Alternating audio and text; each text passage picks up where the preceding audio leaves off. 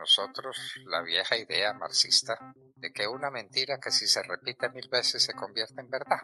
La gente termina por aceptarla. Entonces ahora tenemos esa mentira repetida nada menos que desde la presidencia de la República. La presidencia de la República quedó en manos de un exguerrillero, eso no se nos puede olvidar, que obviamente tiene que defender su causa y tiene que defender o explicar las razones por las cuales se fue para el monte, una manera de decirlo, a coger un fusil para secuestrar a la gente, para perseguirla, para desarraigar de su tierra a tanta gente, para causar los estragos que causaron los guerrilleros en Colombia. Pero ahora, Petro, convertido en presidente de la República, lo que dice es que la gente se alzó en armas o los jóvenes se fueron al monte porque los estaban persiguiendo y porque el Estado los asesinaba. ¿Cuántos jóvenes habrían muerto por acción del Estado? Jóvenes inocentes. Eso definitivamente no se puede admitir. Hemos no solamente admitido, sino pregonado mil veces que hemos tenido malos gobiernos, incapaces de enfrentar eficientemente la violencia en Colombia, pero no hemos tenido gobiernos asesinos. Otra cosa es que se hayan presentado casos dolorosos y tristes donde la fuerza pública, en su afán por producir resultados, hubiera tenido desvíos y hubiera causado muertes o heridas o eh, algún otro tipo de desmedro personal a personas inocentes. Eso pudo suceder, pero como grande excepción. No hemos tenido gobiernos asesinos, eso no es verdad. Las personas que se alzaron en armas no se alzaron en armas para defenderse de gobiernos que los perseguían. Eso no es verdad.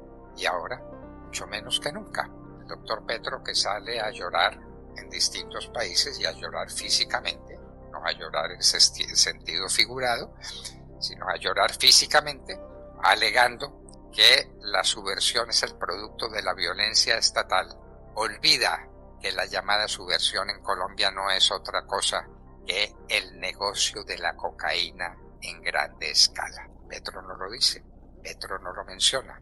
Petro no dice que la cocaína es el más grande negocio de toda América y que es la más grande fuente de recursos extraordinarios que se producen en Colombia. Decíamos hace unos pocos minutos relatando las noticias nacionales que la aduana se había incautado de 4.5 toneladas métricas de cocaína en el Océano Pacífico.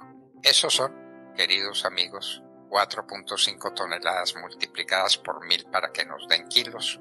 Y ese resultado multiplicado otra vez por mil para que nos dé gramos y el resultado multiplicado por 100 o 150 dólares que vale cada gramo de cocaína. Y el resultado es que ese alijo valía en los mercados del mundo miles de millones de dólares, de los cuales llega a Colombia una porción, y eso alimenta los armamentos, la llamada subversión, eh, las, eh, la manera como se persigue a las familias inocentes que no quieren entrar en el negocio maldito de la cocaína. Gustavo Petro no se refiere al negocio de la cocaína como el negocio frontal, que es la causa eficiente de la violencia colombiana.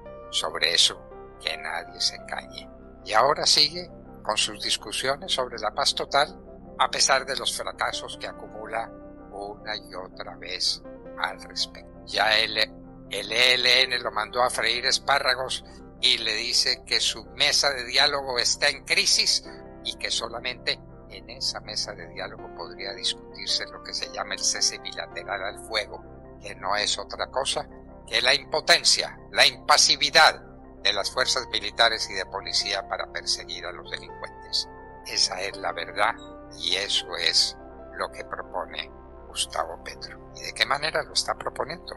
Veíamos ayer y hoy en las noticias que uno de los personajes que están llamados a formar parte de esta mesa de diálogo es el que trató de asesinar y de qué manera al presidente Iván Duque sea cual sea la opinión que uno tenga sobre ese presidente, tiene que aceptar que el asesinato de un presidente es un hecho de colosales dimensiones.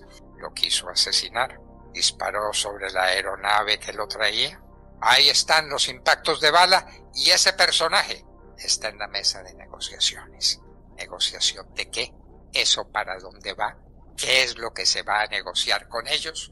Ya Juan Manuel Santos para ganarse un premio Nobel adelantó la famosa negociación con las FARC, más de 300 páginas de basura ideológica en la que está contenida toda clase de eh, desganos para la acción de la fuerza pública, toda clase de improperios para el orden institucional, toda clase de pérdidas para la capacidad del Estado para el cumplimiento de sus deberes y toda clase de fortalecimiento para los que están metidos en el turbio negocio de la violencia. De manera pues, queridos amigos, que tengamos en cuenta estos discursos de Gustavo Petro, producidos por desgracia en el exterior para producir mayores efectos. ¡Ay, la juventud que se fue para el monte porque la estaban asesinando! Eso no es verdad. Hoy los jóvenes se van para el monte para tener ingresos, para participar del negocio de la cocaína, y los jefes son los que se enriquecen fabulosamente con fortunas que no siempre se quedan en el país, aunque muchas de ellas sí se localizan en territorio colombiano. Las demás están en Suiza, están en los paraísos fiscales del Caribe, están en muchos sitios del mundo. Cifras sencillamente fabulosas, de las que no habla Gustavo Petro. No hay para qué hablar de esos temas.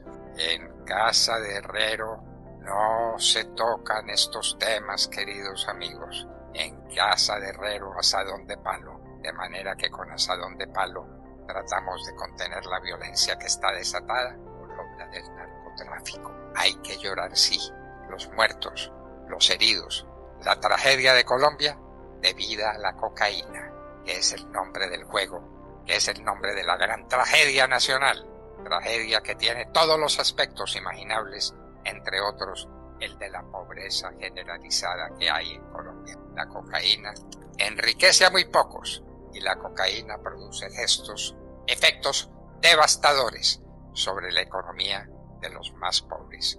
Hay que ver por qué llora Gustavo Petro en el exterior y hay que contravertirlo y hay que tratar de hacer tratar de hacerle saber a los chilenos y a todos los habitantes del mundo que oyeron este discurso y que escucharon y vieron estas lágrimas para decirles que no llora Gustavo Petro por lo que debiera llorar, el problema de la cocaína. No olviden que el grande acto terrorista del eh, grupo guerrillero al que perteneció Gustavo Petro y en el que él no participó directamente porque estaba preso, estaba financiado por Pablo Escobar y el dinero de la cocaína. No olvidemos de dónde vienen las cosas. No traicionemos la verdad, porque solo la verdad nos hará. Por primera vez el ELN utiliza la palabra crisis para referirse a lo que está ocurriendo en las negociaciones entre esa guerrilla y el gobierno del presidente Petro. Antes no la había utilizado. Quiere decir que quieren dramatizar más lo que, ha, lo que ha ocurrido para sacarle ventajas a esa mesa de negociación. Insisten en la bilateralidad de cualquier acuerdo e insisten también en que se debe conformar un mecanismo que anuncie al país eh, cada decisión, que no sea un mecanismo unilateral del gobierno y que los medios de información deben eh, tener eso en cuenta, de que se deben consultar a las dos partes cada que se vaya a hacer una información pública.